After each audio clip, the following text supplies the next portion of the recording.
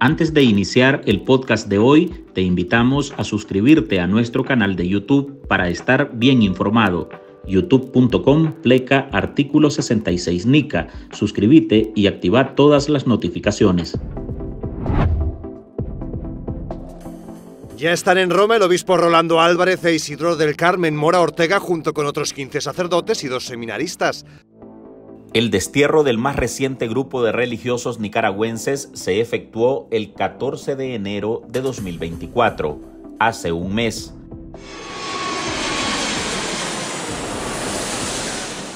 La noticia generó júbilo en la feligresía y críticos a la dictadura de Daniel Ortega y Rosario Murillo, en especial porque entre esos religiosos que recobraban una relativa libertad estaba el obispo de Matagalpa, Monseñor Rolando Álvarez, quien desde agosto de 2022 engrosó la lista de rehenes políticos del régimen. Rolando Álvarez llevaba en prisión desde febrero de 2023 e Isidoro del Carmen desde diciembre. El último llamamiento público que el Papa realizó por la paz en Nicaragua fue durante el Ángelus del 1 de enero. Uno de los que anunció y confirmó ese día la salida de los dos obispos, 15 sacerdotes y dos seminaristas fue el obispo auxiliar de la arquidiócesis de Managua y exiliado, Monseñor Silvio Báez. Fueron liberados los dos obispos, Monseñor Rolando Álvarez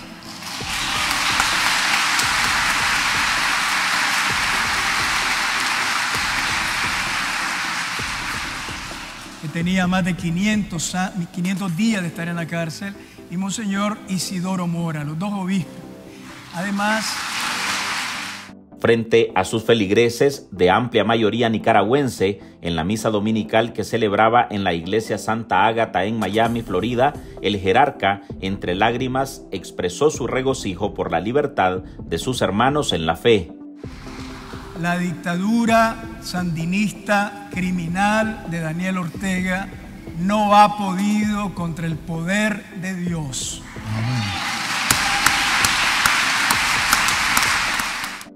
Pero desde ese 14 de enero, esas homilías del obispo Báez cesaron. A los religiosos desterrados no se les ha escuchado y lo último que se supo fue que el obispo auxiliar de Managua se reunió con el Papa Francisco.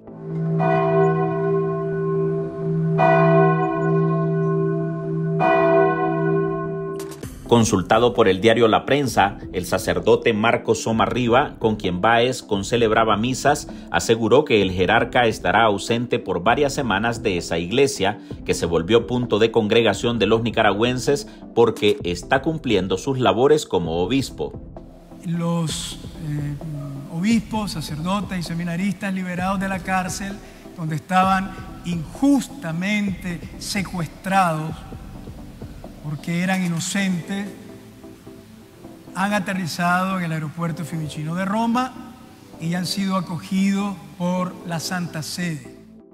Esa situación ha despertado conjeturas sobre el tema y algunos han expresado que la salida de los 19 podría haber sido a cambio de un silencio impuesto para la Iglesia que pasaría por bloquear homilías que aludan a los dictadores de Nicaragua ha sido una muestra del poder de la oración del pueblo de Dios y también de todo el esfuerzo de la presión internacional que se ha hecho sobre esta dictadura irracional y criminal y sobre todo de la sabia y fina actuación de la diplomacia del Vaticano.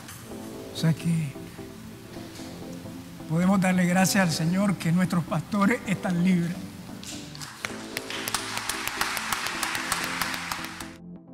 Sin embargo, conocedores de la jerarquía eclesiástica recuerdan que los religiosos tienen un voto de obediencia con la Iglesia y que las circunstancias en Nicaragua podrían obligar a la institución religiosa a tomar el camino de la prudencia debido a la persecución desmedida que han padecido desde 2018 con más de 700 ataques en su contra. Dice la policía que somos nosotros los que metemos zozobra son ellos los que tienen la calle de la curia acordonada. Son ellos allá en la puerta de mi casa sin dejar entrar a la gente. ¿Quiénes son los que meten zozobra? Hola, soy Álvaro Navarro y hoy en el podcast Ahora de Artículo 66 le presentamos Iglesia Católica de Nicaragua asume una aparente prudencia para evitar nuevas encarcelaciones y destierros. Marlin Balmaceda habló con un sacerdote desterrado que bajo la condición de mantener su identidad en reserva participa en esta edición y con el periodista fogueado en temas religiosos Israel González Espinosa. Ellos analizan este martes la situación actual de la Iglesia en Nicaragua.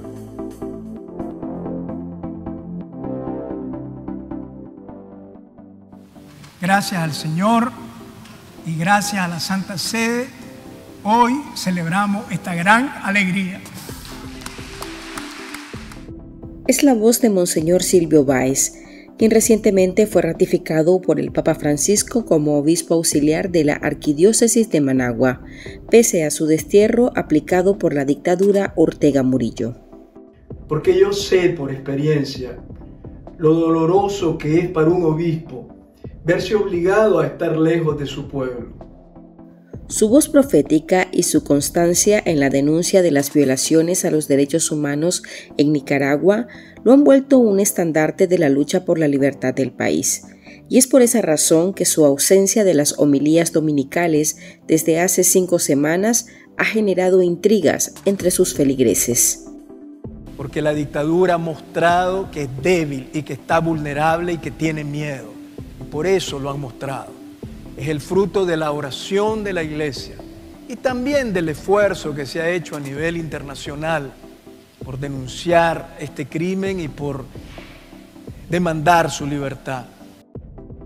La no aparición de Monseñor Báez coincide con el tiempo que se cumple del destierro de 19 religiosos, uno de ellos el obispo Rolando Álvarez, porque Monseñor Báez no dejó de orar hay que seguir orando por Monseñor Álvarez porque presentando unas imágenes como hizo la dictadura sandinista ayer, no borran su crimen. Rolando sigue en la cárcel y exigimos su libertad porque es inocente, es un hombre justo, es un pastor bueno. Esto no es de extrañar asegura el periodista nicaragüense especializado en temas religiosos y exiliado en España, Israel González Espinosa.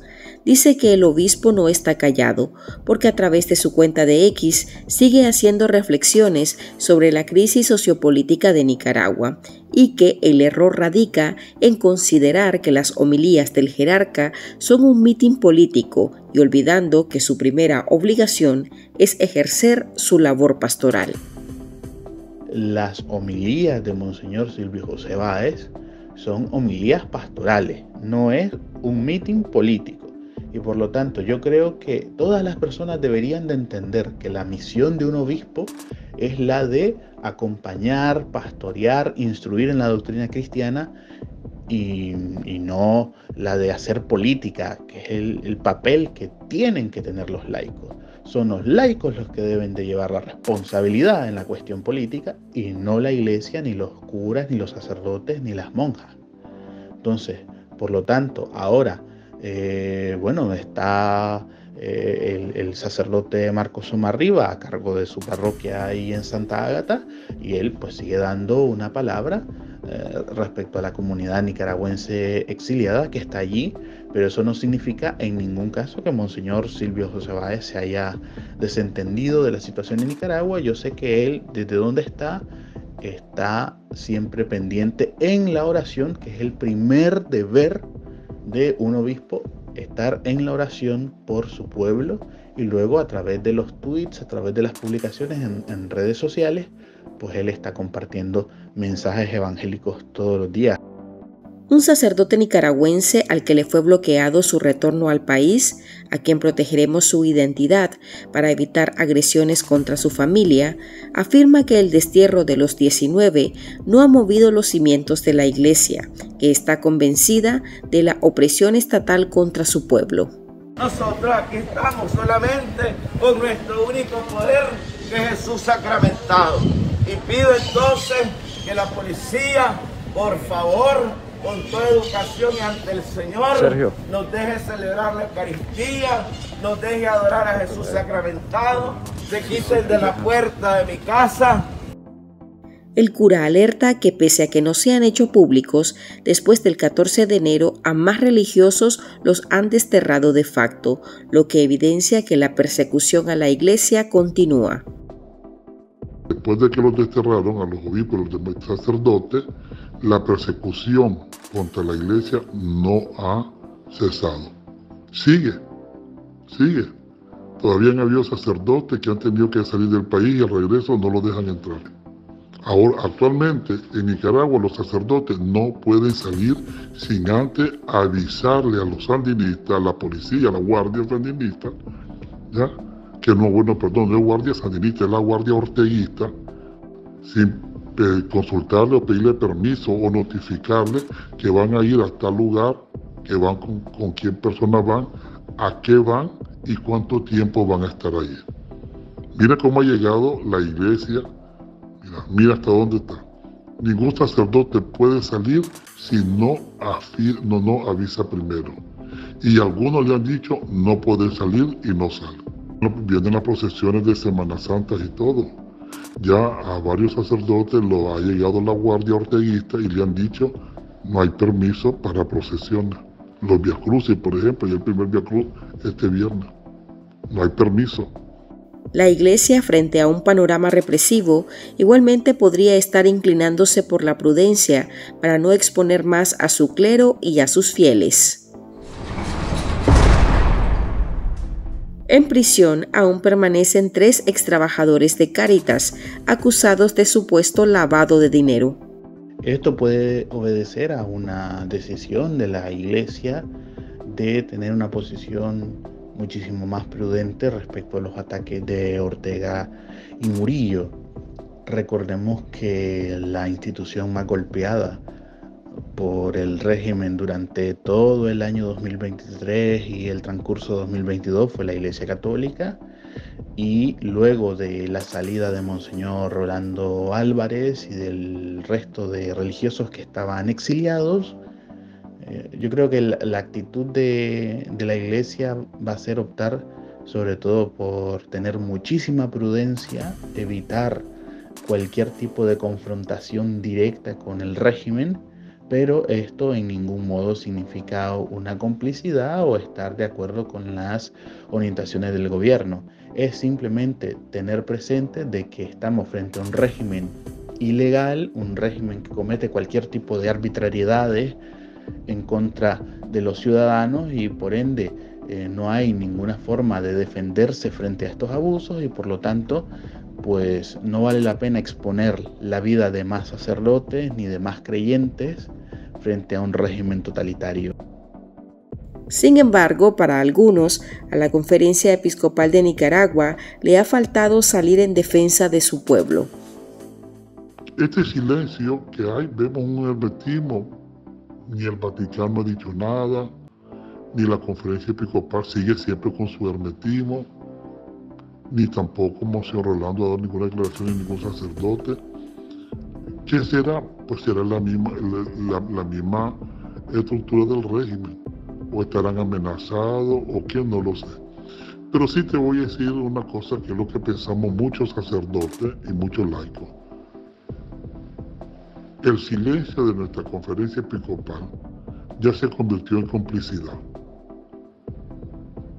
Han permitido que la iglesia en Nicaragua, la iglesia de Cristo, sea humillada, pisoteada y burlada.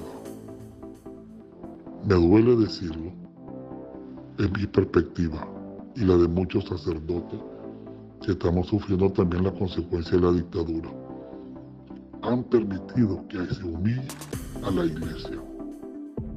La Iglesia desde el estallido social de Nicaragua en 2018 ha sido víctima de profanaciones. Sus sacerdotes han sido desterrados, encarcelados, desnacionalizados.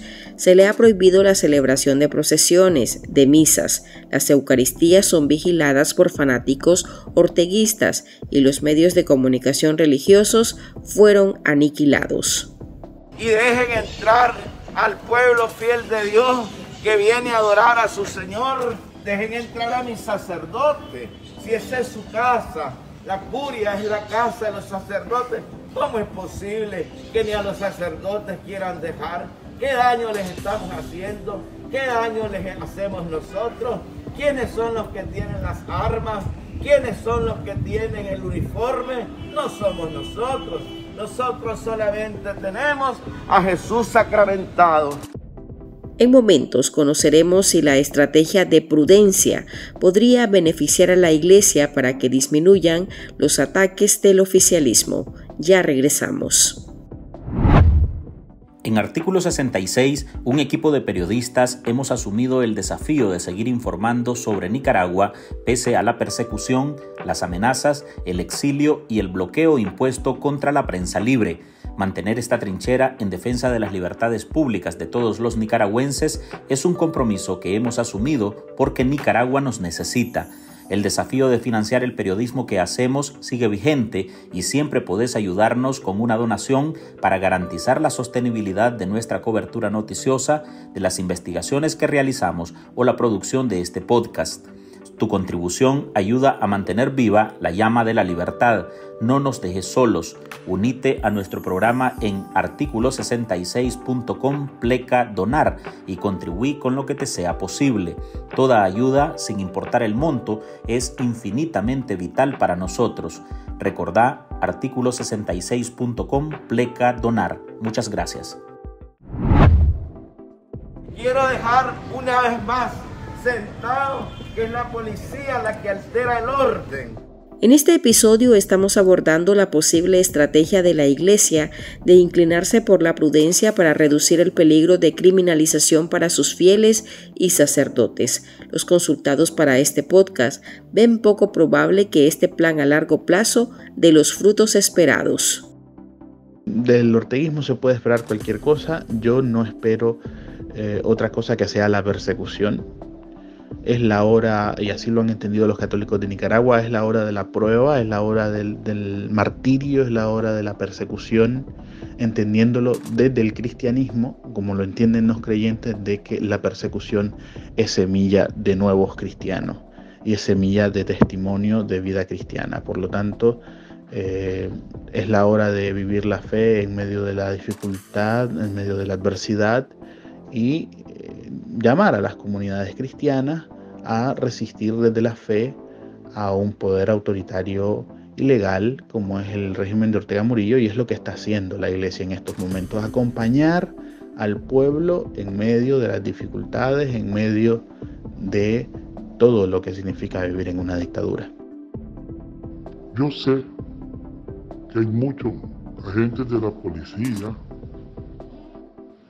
ministros, comisionados, que creen en Dios que creen en Dios. Y vienen de familias muy católicas. Yo invito a la familia de todos estos hombres y mujeres que están manchándose sus manos de injusticia por colaborar, que eleven una plegaria al Altísimo, que eleven una plegaria al Altísimo, para que verdaderamente estos hermanos que están allí apoyando y haciéndose cómplices de todos los crímenes, abuso, robo, lágrimas y dolor que están causando. Ya, arrepiéntase y pídanle perdón a Dios. Pídanle perdón a Dios. Muchos están por miedo ya. Es la realidad. Tenemos testimonio de muchos hermanos que quisieran salirse, irse, pues también ellos están amenazados. Clase maldad de esta dictadura. El cardenal Leopoldo Brenes nombró nuevos delegados dentro de la arquidiócesis de Managua. Entre el último grupo de desterrados, 10 ostentaban cargos dentro de ese ente de la iglesia. El jerarca asumió como un traslado a Roma la expulsión de Nicaragua de 19 religiosos. La soberbia, la prepotencia de los potentados del Magnificat siempre va a manifestar debilidad. Cuando alguien recurre a la fuerza desmedida, cuando alguien hace uso de su autoridad para convertirla en autoritarismo, lejos de ser fuerte, es débil y manifiesta debilidad. Hasta aquí llegamos con esta edición de nuestro podcast ahora de este martes. Recuerde que usted puede sumarse a este programa a través de nuestra línea de donaciones para que podamos seguir ejerciendo el periodismo libre y defendiendo las libertades públicas. Puede dejar su contribución en www.articulo66.com pleca donar. Soy Álvaro Navarro, gracias por escucharnos.